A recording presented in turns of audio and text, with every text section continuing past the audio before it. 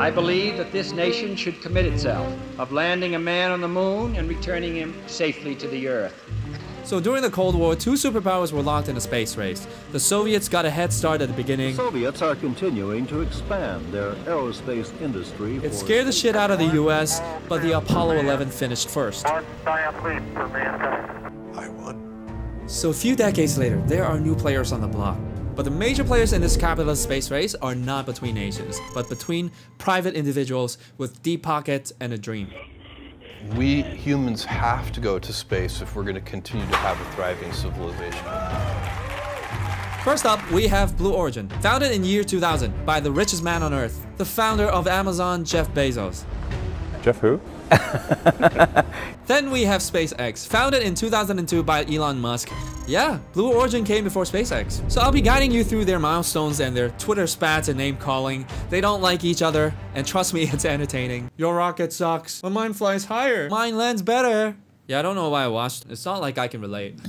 Then we have Virgin Galactic, founded in 2004 by a crazy entrepreneur who does his own stunts for his companies, Richard Branson. We, we will keep trying until we succeed uh, unless another team beats us to it. And just so you know, there are other commercial players, but these grab most headlines. If you find the aerospace industry too technical, this is the perfect place to start. I'll be answering these questions one by one, timestamp provided. This trio may seem childish and egoistic at times, but they are the ones crazy enough to pull this off. And you might wonder why NASA is here. NASA isn't really competing with them. They largely retired from earthly missions like carrying cargoes to the International Space Station or ISS. They gave way to the private sector to fill that market. You guys build the vehicles, NASA will pay for the taxi rides. In doing so, they can direct their budget to deep space research. Now there's an important question to ask. How do we determine who wins? For there to be a race, there has to be a common goal. These companies though, they set goals that differ and at times overlaps. For example, this guy's like, I want to build cities on Mars. And these guys are like, not interested. These guys want to build a lunar base. But go ahead. So they form their own race. You get the point. But it's a buzzword for a reason. Space race sounds cool. So it's more helpful to frame the race in areas where their goals overlap. Release, release, release. So space travels in the 21st century. It looks something like this. You book a ticket, they will send you up to the edge of space, You'll have four minutes of weightlessness, check out the curvature of Earth, then your life will never be the same. It's impossible to describe just how magnificent it is. It will cost you a quarter of a million dollars. It's the rich man skydiving. It's also fun. And it's fun. we had so much fun today. So after 21 years of research and development, this rich man announced earlier in June his rocket is finally ready. Breaking news we told you about. Amazon CEO Jeff Bezos announcing this morning that he is going to space. He's taking his brother with him. All in all, it's a historical day. 20 years in the making, Jeff was set to be the first billionaire to ever reach space until this announcement came out. A billionaire space race. Richard Branson announcing his plans to beat fellow billionaire and rival Jeff Bezos to space. A week after Jeff's announcement to space, Richard Branson was like, hold my beer. I'm, I'm going first, Jeff. Back of the line. Come on. Chop chop. Sorry, Jeff. This one's for the history books. It really doesn't matter whether one of us goes a few days before the other. Exactly, Jeff. Don't worry. You can go anytime. What kind of man cuts in line? No man. No man at all. Well, that's not how he reacted. He put on his poker face. He was like, Congratulations, Richard. A class act on the surface. If you really want to know how he feels, check out Blue Origin's tweet. The TLDR version is, Hey Richard, you haven't reached space yet. What? What are you talking about? So where exactly is space? It depends on who you ask. 100 kilometers up is what was internationally recognized, aka the Kármán line.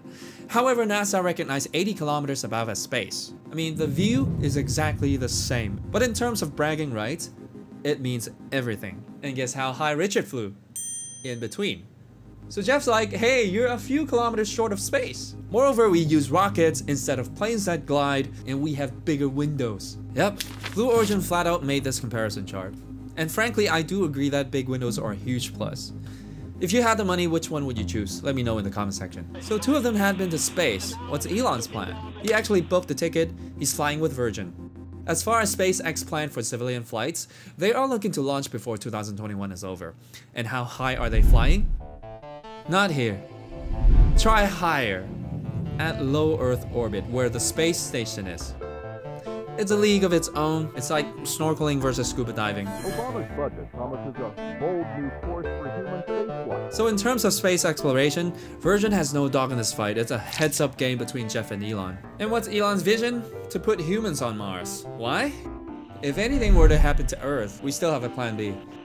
And Jeff's goal is to preserve Earth by tapping its unlimited resource and energy in space, and he wants to expand the lunar base.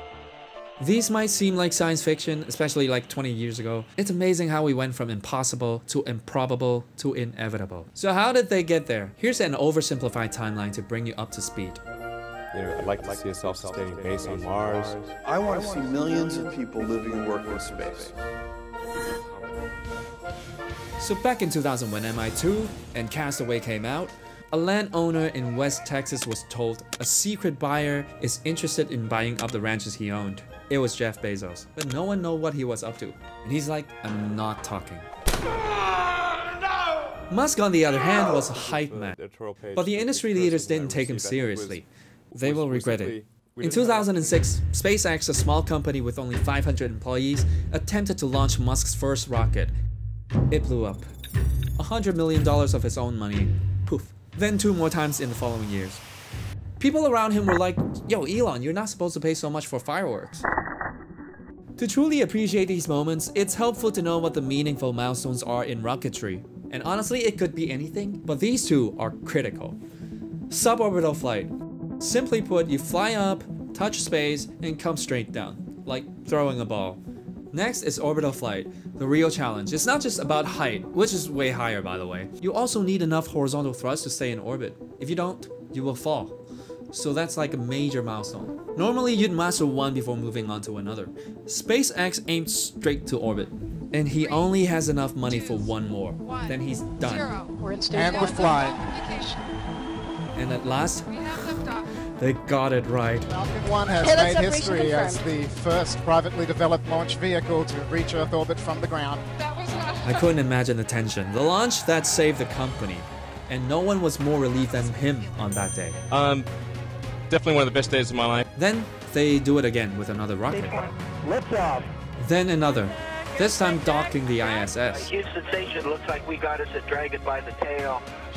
First commercial spacecraft ever doing so. That was a huge deal. In 2013, Blue Origin broke silence because they were fighting SpaceX over this a launch pad owned by NASA. NASA wanted to lease it out. Elon wanted it exclusively for his future launches, and Blue Origin said that Pad 39A should be open to all interested companies. Elon was furious because, dude, what do you need a pad for? You haven't even got so much as a toothpick to orbit. It's so mean, but it's true. At that time, the most Blue Origin achieved was getting their test rocket up to 285 feet. Not that impressive. Moreover, Jeff Bezos started poaching SpaceX's employees, which irritated Musk. In 2015, Blue Origin successfully launched New Shepard to suborbital space and landing it, becoming the first reusable suborbital rocket, narrowly beating SpaceX by a month to it. A big deal. Perfect landing. We made history today. Musk being Musk, he wouldn't have it. Hey, it's just a suborbital flight. What's all the fuss about? And Jeff, on the other hand, congratulated SpaceX, but it's pretty obvious. The keywords of this tweet, welcome to the club. Hey, welcome to my world. I've been waiting. Jeff Bezos finally got a hang of trolling on Twitter. SpaceX successfully put astronauts on the ISS, an important first. And in early 2021, NASA picked SpaceX to receive $2.9 billion to build a lunar lander to send humans to the moon by 2024. It's a big blow to Blue Origin, and they immediately protested. Alright, in a nutshell, who's involved in tourism? All three. Virgin went there first, Blue flied higher, SpaceX goes last, but will fly the highest and for days. Who's exploring deep space? Only Blue and SpaceX are in the race, and SpaceX is many years ahead, hands down. Alright, that's it nerds. I didn't bring up different rockets and missions as this was meant to be a primer video. So if you're interested, simply click subscribe and the bell icon. I can do a follow-up, it's quite interesting. So are you psyched for the future? Do you think they are ushering in something as big as the Industrial Revolution or the invention of personal computers? Let me know. I'll see you next week.